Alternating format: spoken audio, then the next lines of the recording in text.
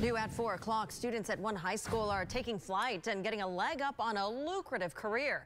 They're a part of a unique aviation program where they're taught by certified flight instructors on equipment real pilots use. That's phenomenal. And Channel 2's Tom Jones climbed into the cockpit with students who took him for a virtual ride. Yeah, the superintendent says you won't find a program like this in any other high school in the country.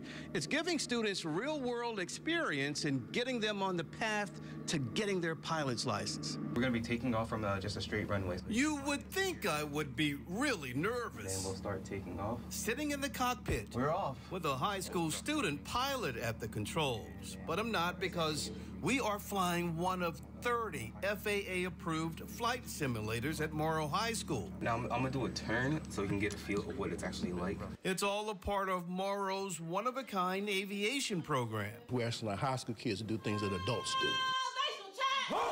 There are about 40 students in the program. The cadets take aviation courses taught by a certified flight instructor. They get to get one on one instructor time, they get to learn everything that a private pilot needs to know. They take an FAA ground exam and even have two Cessnas to practice flying. Lieutenant Colonel Raymond King and school leaders partnered with the Brock Foundation and created the program. King says there is an incredible shortage of airline pilots and the industry needs more minorities. We're right in Hartsfield Jackson's backyard, so we want to be that pipeline. Keep it straight, keep it straight. Superintendent Anthony Smith says it's about developing programs that help students soar. We want to give our kids, you know, as many opportunities to succeed in life as possible, and this is just one more opportunity. Colonel King says the program can set students up for life. If they stick with the plan, they could be making in excess of $300,000 a year at 25.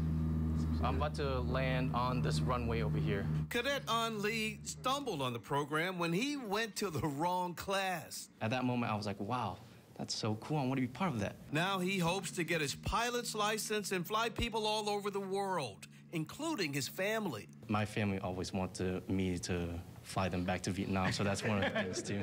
It feels like I'm really taking a step up in my life. The school says two students have already graduated from the program and are well on the way to getting their pilot's license. Reporting in Clayton County, I'm Tom Jones for Channel 2 Action News.